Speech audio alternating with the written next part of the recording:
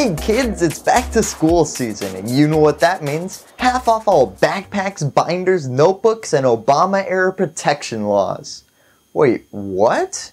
Yeah, to get everyone excited about going back to school, we're talking about everybody's favorite cabinet member, Betsy DeVos. Most famous for angering a ton of people during a Senate confirmation hearing and then disappearing almost entirely from the media conversation. Hey, we got tweets to talk about. So before we go into our main story, a quick montage of things I could be talking about. According to a New York Times report, Education Secretary Betsy DeVos is considering allowing states to use federal funding to buy guns for school teachers. Well, that's one way to keep kids from teasing the substitute. Not gonna focus on that though because it's still just a consideration. And let me tell you, I've considered some crap in my day too. As you know, the budget calls for $9 billion in cuts to the Department of Education. Just a point of clarification. Is this your budget? There was some discussion about whether this was an OMB budget or a US DOE budget. It, this is your budget? This is our budget. Hey, cut 9 billion from the federal public education budgets. That's cool. Maybe you can make up some of that money with some sort of federal gun buyback program so teachers can swap those federally provided pistols for basic school supplies. Most of that 13% cut, according to her proposal, came out of reducing Pell Grants, which are federal grants to students in need of money to get a bachelor's degree. I would talk more about this, but this happened in 2017, so it's super old news now. Proposed rules by Education Secretary Betsy DeVos obtained by the New York Times could strengthen protections for students accused of sexual misconduct and reduce the potential liability of schools. Yeah, now's the perfect political climate to be making those changes. The affirmative action debate, but I'm saving that for a Supreme Court Saturday case that's almost guaranteed to come up next term. Boy, won't that be fun! And the issue of whether public schools can turn illegal immigrant students over to ICE which I might have covered if anyone covered it beyond. I would just say we are both a nation of laws and we are a compassionate people. I think it's important this? that we follow the laws of the land. That's not a yes people. and no answer. If I would appreciate if you give me a yes or a no. As I said, I think we are a compassionate people. That's not and, it. And we know that uh, we are also a nation of laws. Hey, uh, guys, just checking. Are we a nation of laws? I guess we are. Well, my Friday nights just freed up hard. This does answer your question, though. So, wow, yeah, there are a lot of things to talk about with this cabinet member. Today, though, we're going to be talking about her proposal to replace. Late in the Obama administration, new rules were established to allow student borrowers to have their debt erased if they'd been victims of fraud by for profit schools. But as the new rules were set to take effect this month, the new administration called for a freeze, with Secretary DeVos saying they were created in a quote, muddled process that's unfair to students and schools. Oh boy, erasing debt for defrauded students does sound unfair to the students. Now you're just going out of your way to hurt Trump University enrollees. This is actually interesting though because this combination of crackdown and refunding used an algorithm based on graduate debt to income to detect whether a college was predatory. Which, in theory, sounds good, unless you think that America's prejudice against certain groups. Historically, black colleges and universities and for-profit educators maintain that the new rules were far too broad and subjected them to frivolous claims that carried significant financial risks.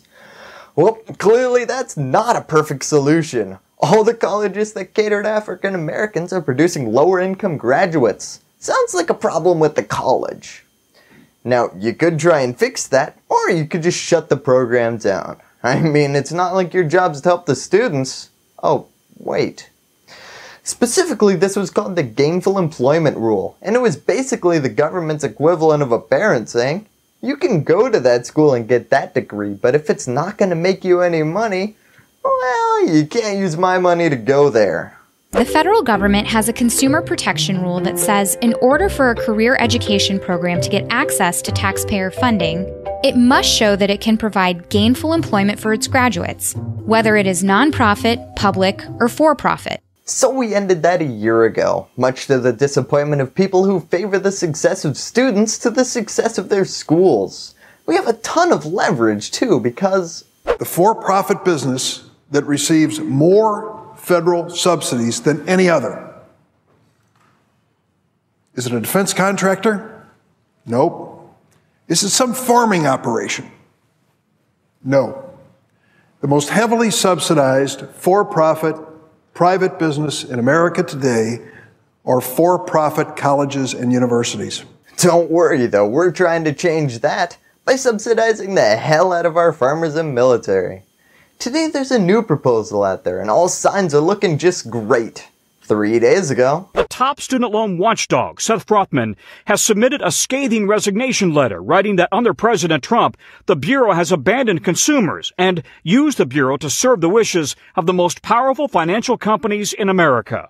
I'm gonna go out on a limb and guess he's not the biggest fan of this proposal. Before we let him taint our opinion too much though, what does it actually say? Well, in solving the problem of for-profit universities doing what they do best and profiting, while leaving students owing a ton of money to the government that they can't pay back because they have a diploma that's about as impressive as listing your proficiency in Microsoft Word on your resume. Well, it says here, you can type. We know this is a problem because 9% of high school students go to these schools. 20% or more of federal aid to education goes to these schools. Why? Because their tuition that they charge is so high. But here's the kicker 35%. One out of three students in America who default on their student loans have attended these for profit colleges and universities. So clearly, this isn't great for anyone involved, except the school. America spends money to train people who end up unprepared and can't pay the money back. Students end up worse off than if they had spent the last four years playing Halo in their basement and everything just does, well, whatever's worse than stagnating because this problem is constantly hurting more and more people. So, again, assuming you're on the side of people who want to solve the problem, how do you solve it? Well, besides the Gainful Employment Act, Obama had one other protection put in place. While the Obama administration recovered $750 million from predatory lenders in court, uh, the Trump administration has taken a different approach. So we are going to look at this with a healthy balance um, of, uh, of, of, of, of, the folks who make loans and the folks who take loans. That stuttering Mick Mulvaney was describing Trump's new rules that would require borrowers to prove that they had fallen into deep financial distress to file a claim for debt relief, or to prove that the higher education institution they attended had intentionally misled them. Well, that sounds terribly reasonable although only seeking justice for people who are financially destroyed by exploitative colleges really hurts the vast majority of people who are just ripped off in a non-life ruining way.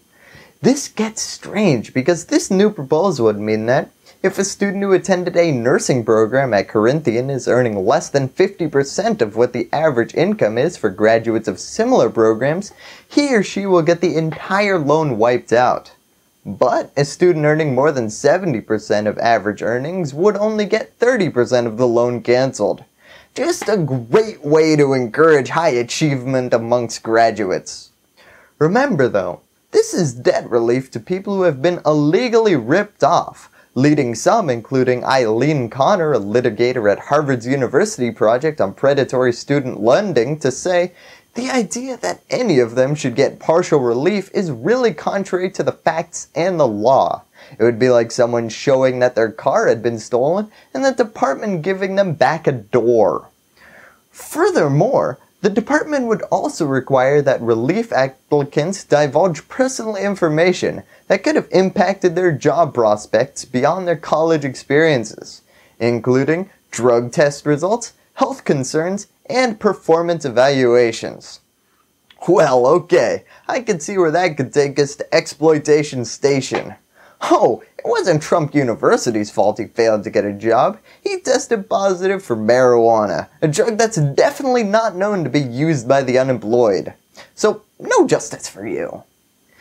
These loans have sometimes gone to the extremes. I wish I was wiser at my young at a younger age to have known that it was a bad deal. For her photography degree, Ashley Harden took out $150,000 in loans and has struggled to make the $1,450 a month payment. You took out $150,000 in loans to study photography at a for profit university? Man, absolutely no part of that last sentence inspires any confidence. The Obama strategy here was to use the Consumer Finance Protection Bureau to sue for profit colleges, and then use that money to give to the consumers who were ripped off. With this new administration, we're going back to using taxpayer funded loans to help people go to legitimate scam schools. And I realize legitimate scam is about as oxymoronic as you can get, but we're not talking, oh no, I can't get a job because my degree in modern interpretive business dance can't get me one. Instead, it means you legit got ripped off by some guy who just started charging people for glasses because what? I know things. Hmm, maybe I should start the Mackey University of Economics. In the first assessment of college graduates' debt to earning ratio, about 800 programs, or 10% of those examined, had failed to meet the requirements laid out in the gainful employment rule. The department announced of those, 98% were for profit universities. This meant that federal loans could not be used in those programs, which cut them off from so much money it would be the equivalent of Ferrari deciding to completely repivot their brand to focus exclusively on their baseball caps. The official hat of trying way too hard. This led to a series of high profile collapses. For profit college closed its remaining 28 campuses, affecting 16,000 students. Their campuses were closed, and we're talking all of them for good. Some of the nation's largest for profit colleges are seeing steep declines in enrollment. With these restrictions on federal funds gone, as well as a Consumer Finance Protection Bureau led by a guy who cares about protecting the consumer about as much as the guy who invented lawn darts, this is forming a radical shift in the environment of dealing with for profit universities. So statistically terrible for-profit universities are back, and they'll probably expand because the only job you can get with a diploma from one of those places is starting a for-profit university.